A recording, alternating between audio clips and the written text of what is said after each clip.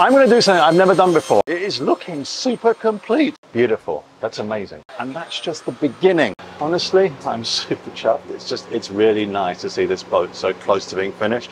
Welcome back to Sailing Ruby Rose from the Saigon shipyard. It is the 6th of January 2023. The year has rolled over. I am walking past this boat. This is Hull 3. I am walking past this boat that you're going to get to know really well. This is Hull 2, Ruby Rose 2, and I'm going to take you and show you Hull 1 because in the three weeks that I've been gone, a lot has happened.